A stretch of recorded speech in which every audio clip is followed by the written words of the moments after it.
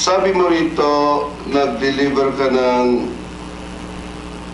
90,000 pesos. 90 million, sir. No, I'm sorry, 90 million pesos at 500,000 dollars Opo, sir. sa Soler. Opo. Okay, nakalagay dito, nandun si Miss Salud Bautista, kasama nyo. Opo, sir. And dala mo yung cash. Opo, dala ko po. Okay, kanino mo binigay yung cash? Kay Ma'am Shiba po. Yun po sa, ah, instruction po sa akin, sir. Magkita lang kami sa Soler. Pagdating doon, sir, inabot ko lang po yung receiving copy, sir. Na nakalagay po doon na 900,000, yung amount po, tsaka 500,000. 900 million, you mean? Ah, 900 million, sir, sorry.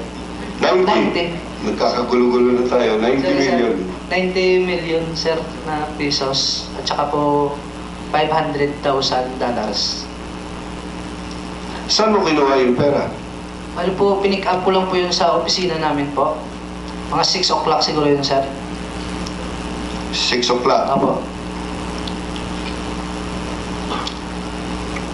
Ah, sino nagsabi sa iyo na i-pick up yun? Si Ma'am Shiba Bautista po.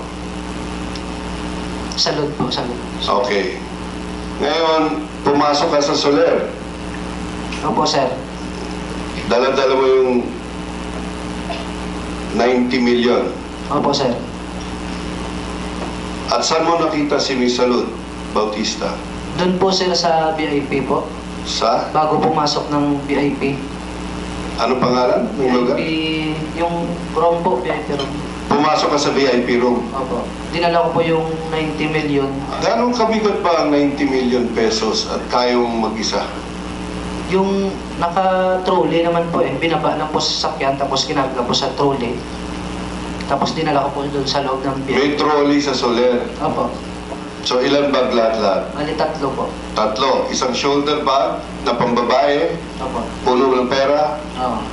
Isang traveling bag, Oh, yung malaki pong traveling bag po. okay, puno rin ng pera. Opo, sir. At isang maleta.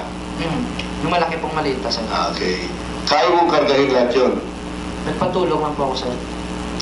Kay sino tumulong sa'yo? Sa kasama ko pong driver, sir.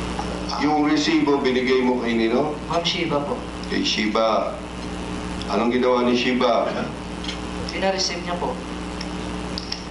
Pinareceive niya. Hindi ba yung yung resibo eh ikaw nakapirma? Opo, pangalan ko po yan, sir, sa resibo. Para po, in case po na may problema po yung pera, sir, deliver by po, nakalagay doon pangalan ko. Kung mag, kung meron po problema, sir, halimbawa, sir, may fake o kulang po, ako po yung babalikan, Ma'am Shiba, kasi nakalagay po doon deliver by Mark. Yun po yung katunayan lang, sir, na ako po yung deliver ng Ito yung procedure niyo. procedure po.